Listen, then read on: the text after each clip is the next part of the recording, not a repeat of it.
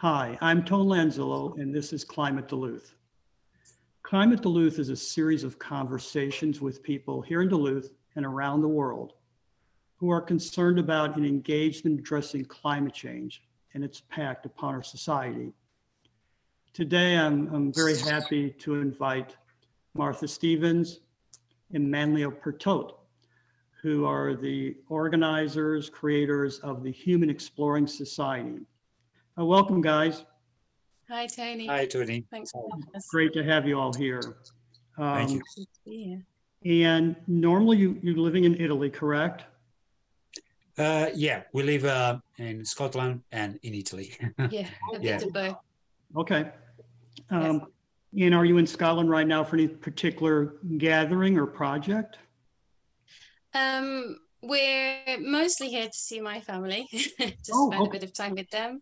Um, it's a totally different climate here in Scotland. We went from, you know, heat waves still in Italy in, at this time in October, November to completely wet. We've had constant rain over the last few weeks here, but um, it's nice to be here. And yeah, we came back just to see what was happening with the COP27 events. Obviously, last year we had COP26 in Glasgow. So this year they were hoping to kind of organize some, uh, yeah, protests and marches um, outside of Egypt. Why don't we begin by telling us a little bit about the genesis or the ideas behind the Human Exploring Society and its mission?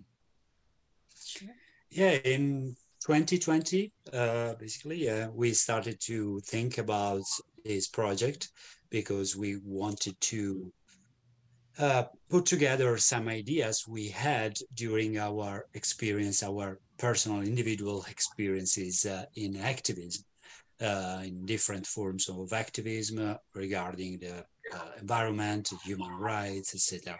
So uh, me and Marta put together these uh, these different backgrounds, and um, above all, we arrived to a um, uh, to the final decision to create something new that could uh, actually give uh, could highlight the reasons why we need uh, a focus on human rights beside a focus on the environment and that these two issues were uh, for too much time i would say they were they were uh, aside and um, and so also in the world of activism was uh, was like there was this divi- there was this division between the the issues regarding uh, human rights the issues regarding the environment while we felt and we feel we are feeling more and more they they go together and uh, our voices can be more effective and more efficient when they are together.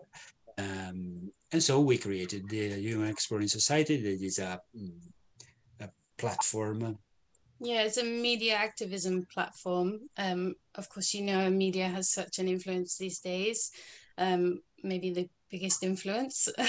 um, and it's a way of uniting kind of creative people. I suppose we are a, we are a creative studio, you know, bringing together artists, designers, graphic people, uh, authors, journalists, photographers, all these kind of things, um, because we just feel that this is a really strong way that people respond. I think news can be overwhelming, you know, the bad news that we get, and people don't quite know how to respond. And I think through art, videography, I think people just find um, find that they can respond to one or the other. Um, you know, people respond to different things. They're inspired by different things. Maybe that's the best word, inspiration. We're trying to inspire people, inform people um, about the events, um, and give give the truth. And yeah, inspire them to make a change, the necessary change. Where your your interest and concern for human rights, um, where does that come from? Is it from personal experiences or things you've you've seen happen around the world? But yes, where does that interest and concern come from? Of course, from a personal experience, um, I mean, in uh, in Italy in particular, we are facing, uh, we have been facing in the last uh, years uh, a big problem being a frontier to uh, immigration uh, due to unsolved problems in um, Africa, Middle East, etc., caused by the, the capitalism and the, the, exploitation coming from our countries, and uh, and that big clash reason was a reason for me to understand uh, why that was happening and how we can solve this. And of course, all things uh, coming from the, the big climate change uh, uh things where uh, were a normal result of, of, all of this. For I mean, in in um, in all the Mediterranean area, there are people, um, you know, uh, running away from wars, both wars and uh, big uh, problems with uh, with the environment in their countries, and uh, famine and other things that you know are caused by climate change. And uh, for me, that was natural to say, okay, we have to face not just not just to help these people. That is right, of course, but we have to face why it's happening and how we can solve it. And at the same time, we will solve also the climate crisis because the climate crisis it's happening now finally even in the news they are starting to say the climate crisis crisis is also a social crisis there is a social injustice in the world, and that's why we are facing this. We are exploiting too much some countries, and there are uh, on the other side some countries who, who are enjoying too much of of the wealth of the world, and so yeah, it comes from there. in creating this platform that you that you have developed and, and that I've been so impressed with, um, can you share some of the people or organizations that you've engaged that have been supportive and that you've been able to collaborate with since you began um, the society? Been a number of people in different ways along the way. For starters, probably one of our most influential moments was, as I said previously, at COP26 last year, as it was held in Glasgow, which is very close to where we where we stay at the moment. And we worked um, as part of the COP26 coalition which was a coalition of about 100 different organizations and individuals who came together um, to create media all about the activities outside the walls of the COP. So the the activism on the streets. We held uh, talks in uh, in local libraries and things, and it was just about um, capturing that in different media forms. So it was really powerful to work alongside all these people and, and kind of feel the energy outside the walls. I mean, it, you know, the result to maybe in the public eye of COP26 was very negative and it, it, it is still very negative. However, the energy from the people from the streets, from from the people who were talking on stage was was immense. Um, so we've we've been working on and off with these people since since that moment last year. We've also recently um, under or started our campaign, which is um, a plastic pollution campaign, which is in the south of Italy, which is where Manlio is from.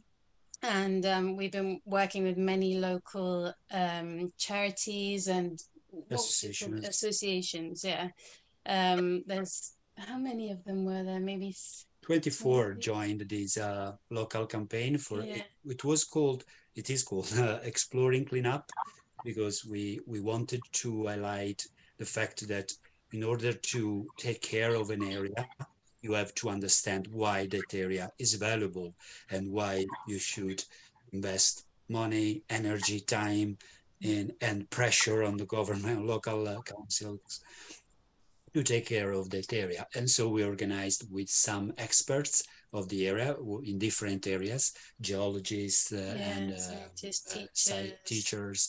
Uh, we organized a, a cleanup that was also a walk through the area to understand why that area was valuable. It, it, it, it is a, a shore, a, it, sh it should become a, natural marine reserve.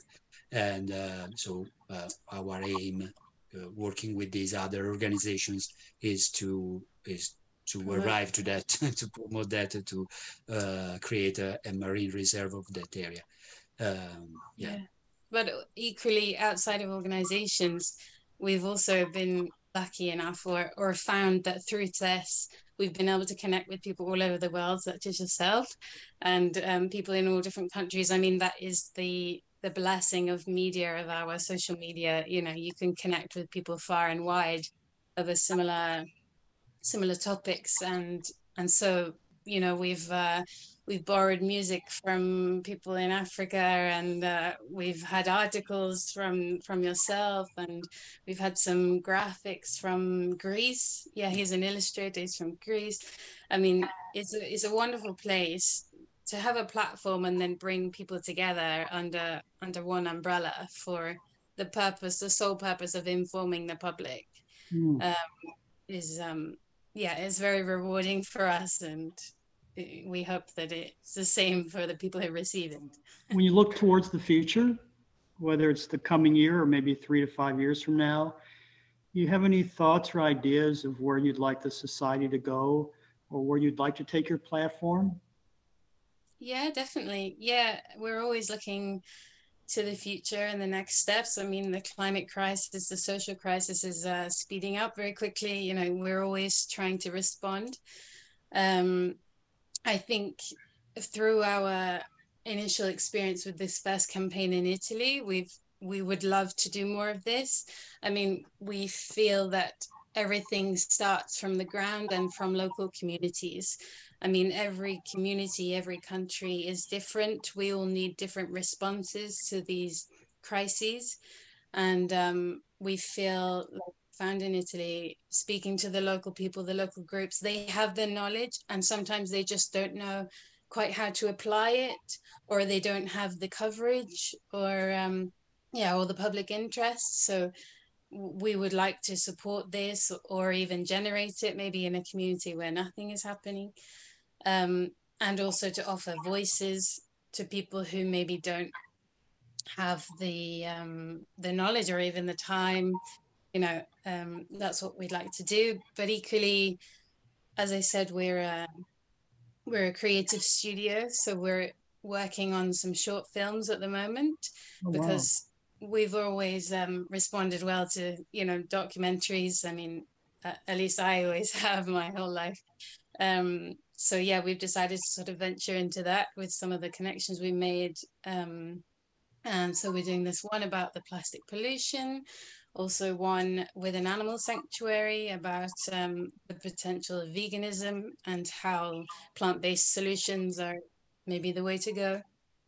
Um, yeah, can you think of something else we'd like to venture into? We've got lots of grand ideas. yeah, yeah, lo- lots of grand ideas. Also collaborating with other uh, um, organizations, uh, which are offering, we are offering our our time and energy and knowledge. And just to make an example, we are going to um, translate a whole documentary uh, in Italy about uh, pollution in a particular area, an industrial area, and yeah, small and big uh, things. But what we are focused on is that uh, we want to help people, uh, help, of course, artists, journalists, etc., uh, to come together on uh, mm, uh, th- those issues are particularly urgent in this moment. And of course, climate change is number one. But uh, beside that, there is this uh, big need in, in this moment, at this moment, uh, to um, free the information. Uh, we have a big problem, um, worldwide problem, uh, to uh, let people know how to act and where to act. Because as I like to always to remember uh, what uh, Julian Assange, when he was a free man, uh, liked to say that people have a sense of justice. If if they know uh, where to act and why to act, they act. Uh, but we have to give them, we have to give people the opportunity to know about the big important issues and they and then they will act. They will stand uh, uh, for uh, for the right causes. Uh, they will do it. So um, what we would like to uh, to act more is to help the world of information. That means not just journaling but as marta said also the world of art that makes uh, everything easy to be understood or you know basing also the the, the message on feelings mm-hmm. uh, helping them to highlight these issues and uh, mm, bring these messages uh, as wide as possible mm-hmm. and you two are great examples of your reflection um, as we know the work that y'all do can be challenging what or who motivates you to not only keep doing what you're doing, but gives you the energy, especially in those difficult and frustrating moments. But yeah, where do you find your motivation or inspiration?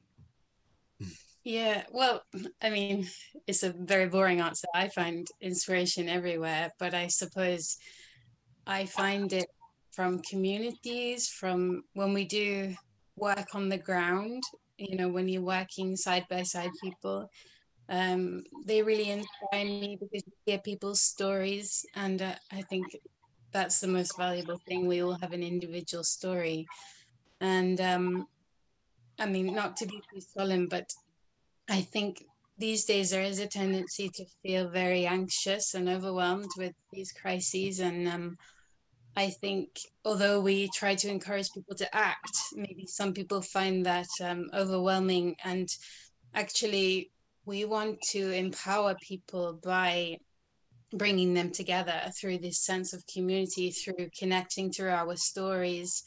You know um, i think that's the most valuable thing and i think people start to sort of think okay this is manageable this is tangible if we if we work together and to each other. And yeah i, I find my inspiration through yeah through through people, through talking to people. Yeah, for me, above all, is that are there the, my two children, uh, my son Francesco, who is 13, and my daughter Alice, uh, who is uh, 11 and a half. um, yeah, uh, they are a big inspiration because uh, I feel also the urgency and the need to give them to, just the opportunity to fight for for a better world because I, I feel privileged uh, honestly in having had a, a, a, good life thanks to my parents thanks to the uh, the conditions where I grew up etc but I, I don't feel if we still go this way that for my children will be the same. Uh, honestly we need a big huge change uh, that doesn't mean just uh, uh, um, cutting the emissions, but it means mm, changing the way the way we live, the priorities in societies, uh, because otherwise, and the next uh, um, uh, threat will come, will not be climate change, will be something else. But what we need to understand if that we we still go uh, this way. We still uh, prioritize the, the, the wrong things. We, we, everything will be difficult to be fixed.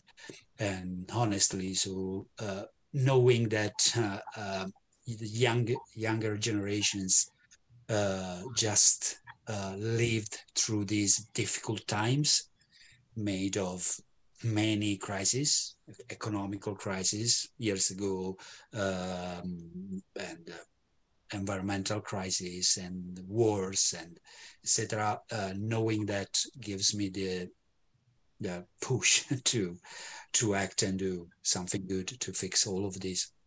Right. Well, as a father to two sons myself, I appreciate that, Manlio. Um, in your work with the society, uh, what have been your interactions with young people, high school, college students? Uh, what kind of response have you gotten from that group? I think, um, I mean, I suppose the place where we tend to meet them is uh, on the streets. um, and our response has been that they are full of energy and uh, you know they are ready to fight this fight effectively um, i think it, as long as they have the resources they would absolutely take us in the right direction. I, I think um, i haven't met too many young people who are uninformed. I think they all know exactly what's going on you know that there's no denial there. There's no matter what their backgrounds are um, i think they all bond together. I mean not to refer again to it, but during COP26 last year, I mean, how many were there? It was 50,000 or something um, right. kids or one, 100,000. future. Um, yes, it, there was a march of uh, young people. 100,000 young people together, you know, screaming in the streets. I mean, that's powerful. You can't ignore that. Um, I think it is magical. And um, I I think also, you know, they. I think adults respond to them better than adults talking to adults in some hmm. ways. You know, you you can't ignore ignore children, and um, I mean, it's their future that we're fighting for. So yeah, our experience has been positive. Um, I, I suppose. Yeah, what I, I feel the same about the the knowledge they have. Um, but what is uh, a very, uh, very upsetting is that most of them don't have a huge confidence uh, things will be fixed. Mm. Right. The, the more they know, the more they are, the less they are confident things will be fixed. Mm. Uh, and that's very sad. That's very upsetting. So I guess one of the uh, goals we should have as organizations, movements, etc., uh, working in this uh, area should be to not just to inform, not just to say how uh, dangerous it is to still go this way, but also uh, beside all of this, saying there is a way. The things, the uh, same science uh, saying that there is a threat is saying there is a solution, and and we can fix things. We can work together. There are millions of people available to work together and and uh, and solve these problems. Uh, it was uh, um, just a few days ago, before the starting of COP27, it came out a report from the um, uh, International Institute for the Sustainable Development, and uh, basically they say it, it was a report uh, useful also for the, the works of the COP27. No? And basically, they said that uh, if we divert five, um, 570 billion dollars from fossil fuels, uh, of course, money, public money, we are talking about public money, 570 billion dollars from fossil fuels to wind and solar energy, actually we can meet the uh, 1.5 uh, uh, degrees target. Mm. But we have to divert that. And these organizations are made and paid by those governments who are ignoring their own scientists who are they, they are paying they are paying them they are paying for this information and these scientists these experts are saying there is a way it's not impossible it's not it's not uh, rocket science here just divert this money from this to that and we, we can fix it. So actually it, it seems uh, something uh, upsetting but it's good news because mm-hmm. it means that uh, the problem is in a few people. Of course they are powerful. Of course they are in charge of big countries and big uh, institutions but they are a few people. They are not they are not as many as us. Right Thank you.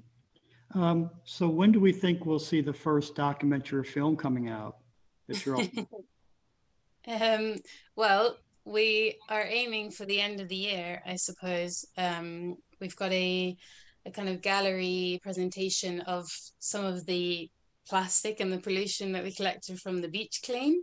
I think is going to be displayed in a in a local gallery in um, the south of Italy. So that will be a kind of um, maybe finale to the film. Mm. um, but yeah, it's it's underway. It's in production. It's all it's all pretty much been filmed. So yeah, as long as I find some time to finish the editing, then should be in the next uh, few months. Okay, that's cool, because here in Duluth, we've had various plastic campaigns over the past few years, so I look forward to hearing about the progress on your report. Um, yeah. For those who have um, checked in today and watching this conversation, how can people find out about the society? What are some of the ways they can learn more about what you're all doing? uh, through our channels, yeah, which are the Facebook channel, uh, Instagram, and Twitter. Um, we update every day um, things about you know uh, these issues, relevant issues, and uh, of course we post also special projects there uh, through our YouTube channel. Uh, yeah, on our, our, YouTube channel we also have uh, two special playlists uh, of songs uh, about human rights and another special playlist of songs about environment. So which just if you need some inspiration. Yeah, it, it's a kind of uh, yeah good inspiration uh, for uh, yeah. for your uh, for yourself for your guest. Right. But, yeah, on all of the channels, it's just our our project name, the Human Exploring Society. So hopefully people can find that. And we also have a, a website, um, which is the Human Exploring Society.life, um, which is where we kind of share all of our news. But every Sunday we post an article, um, which is a sort of finale to the week, uh, all about human rights, climate, animal rights, mm-hmm. various different topics um, from authors all, all over the world. Okay, cool. Well, I truly want to thank Martha Manlio for being with us today and um, look forward to staying in touch and collaborating in the future. Absolutely, Tony. Absolutely. Thank you so thank much. Thank you for inviting us. us. Yeah. Our pleasure, and everyone have a good day and take care.